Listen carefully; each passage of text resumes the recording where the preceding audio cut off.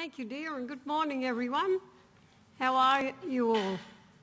Um, I'm Auntie Agnes Shea, and I'm one of the Ngunnawal elders, and I'm very proud to be invited here today to welcome you to uh, the country of the Ngunnawal people. But firstly, I'd like to acknowledge our guest speakers and also all of our Aboriginal and Torres Strait Island friends and our non-Indigenous friends who have joined us here today. I'll say a bit firstly about the Ngunnawal country and the people. I'll explain the meaning of a welcome and then I'll say a bit about this special event that's happening. I'll just change my glasses. Where are the other ones? Um, I'm blind in one eye, so uh, excuse me if I do make a bit of mistakes, but anyhow, the Ngunnawal community are the traditional custodians of Canberra and the region. The audience may not be aware that the Ngunnawal nation is made up of several family groups and not just individuals who represent the interest of this country. Therefore, as a community, we have an elected body known as the United Ngunnawal Elders Council to represent us along with the Aboriginal and Torres Strait Island elected body of the ACT. This is important for you to understand and acknowledge, for our, our identity is a collective identity. There are other Indigenous and non-Indigenous peoples from many nations around the country and the world who have come to live on the Ngunnawal land and I would like to acknowledge and pay my respects to them also, especially those who have joined us here today. Now I'll explain the meaning of a welcome. The tradition of welcoming people is a cultural practice that was handed down by our old people from the beginning of time. Before entering another person's country, you would always announce your arrival and not enter until a traditional owner of that country welcomed you. And the reason for this practice is to protect your spirit while you're in another person's country, but also show respect for the people of the country you're entering. And as one of the Ngunnawal elders, I'm now very, very proud to see when non-Indigenous organisations and government do ask an elder to come and do welcome to country, it shows that they are also respecting our traditional culture.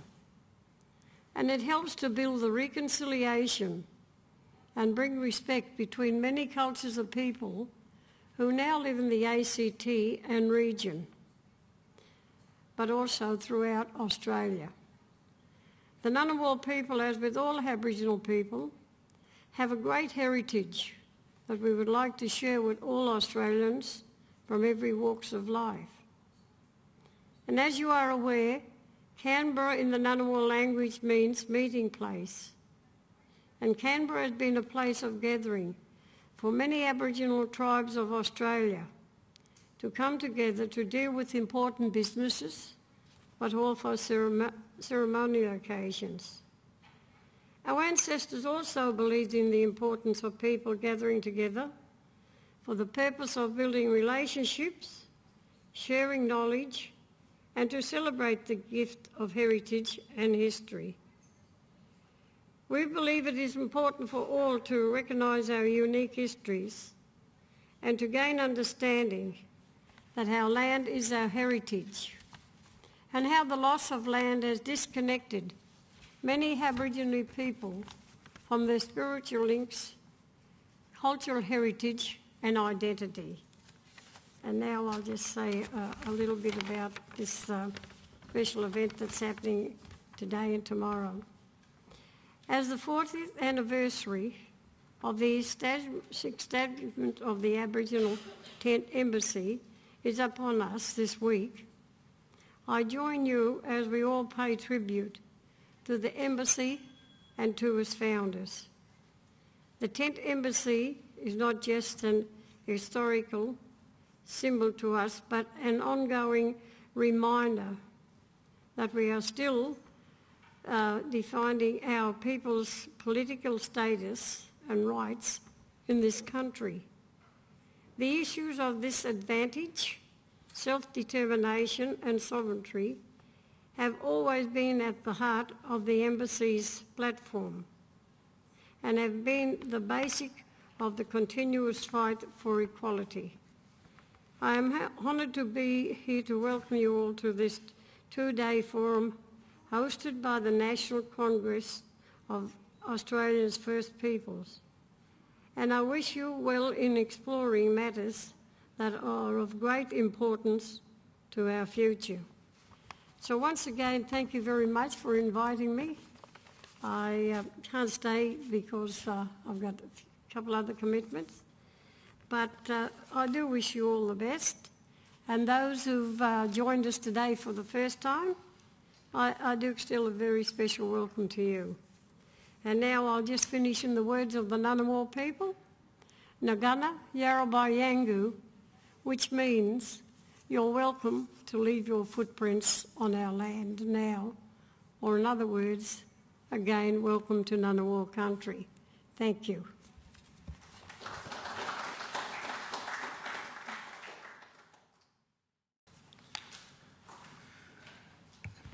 Thank you, Auntie Agnes, for that uh, very fine welcome to country and um, let me start by also paying my respects to the Ngunnawal people, the traditional owners of this region and um, how important it is for us to have recognition of this uh, cultural welcome. It is very much a recognition that we are the true owners of the land and that we have continuing rights. These are rights that existed for thousands and thousands of years before colonisation and continue today. And it is always heartening to hear people providing us with such welcomes and not only to remind us but to remind all other people, Australians and visitors, of the very, very strong link between the people and the land. I'd like to um, provide a brief introduction. Um, the program this morning is fairly tight, so I just wanted to give a little bit of a background to this forum and the Congress and what it's about. But let me start talking about the Aboriginal Tent Embassy. As we know, in a few days' time, it'll be the 40th anniversary of the establishment of the Aboriginal Tent Embassy on the lawns in front of what was then the Parliament House. At the time, it drew a lot of attention. It was a time of confrontation where the government's first reaction was to try and use force, to use police and so on to stop Aboriginal people from protesting for rights. The Aboriginal Tent Embassy has continued for 40 years and is now part of Australian history. It was established in 1972 but only existed intermittently for the first 20 years but since 1992 the Tent Embassy has been a permanent presence at that location.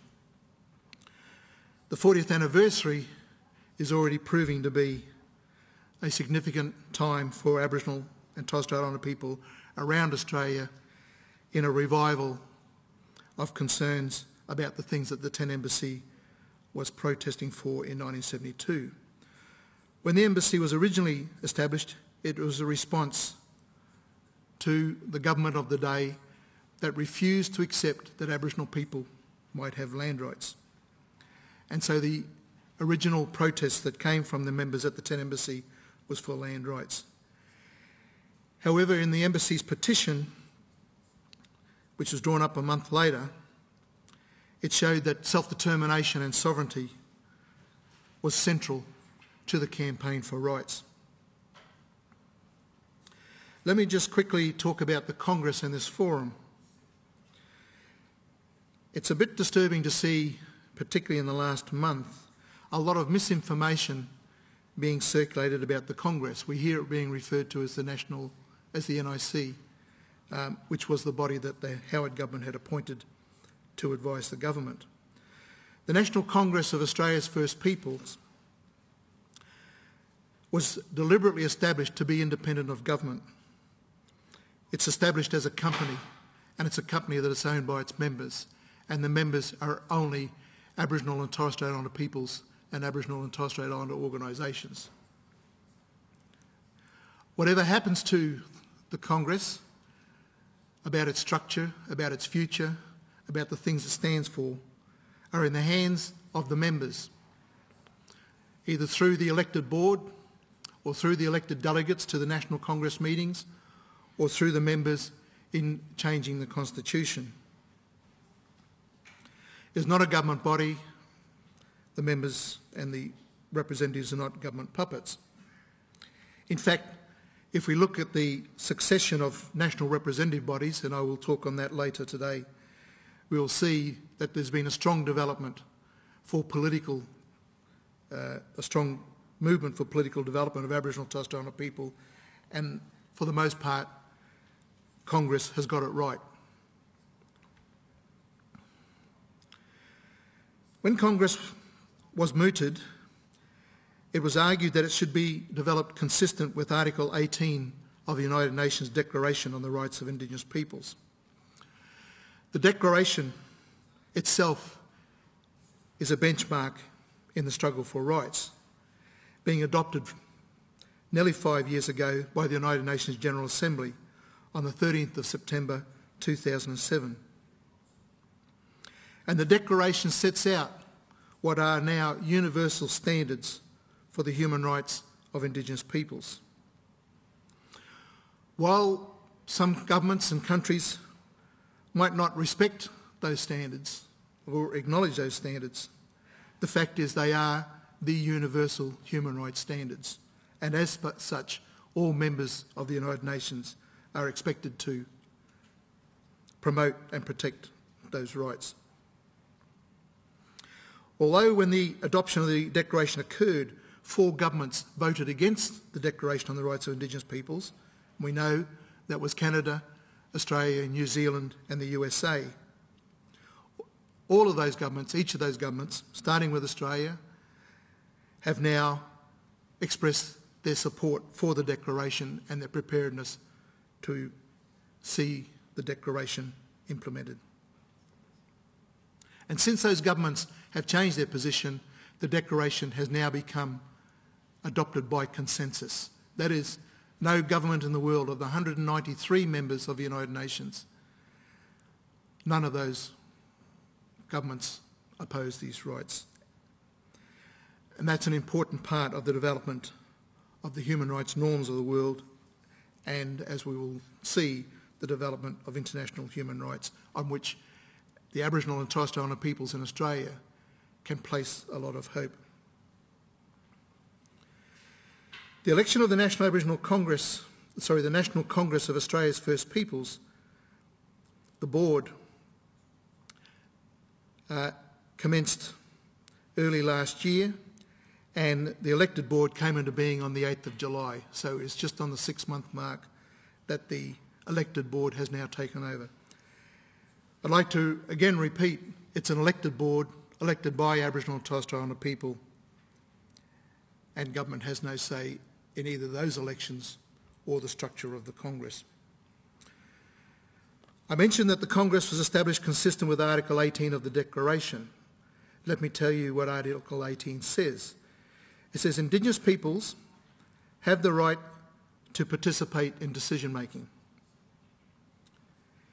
in matters which would affect their rights through representatives chosen by themselves in accordance with their own procedure, as well as to maintain and develop their own Indigenous decision-making institutions.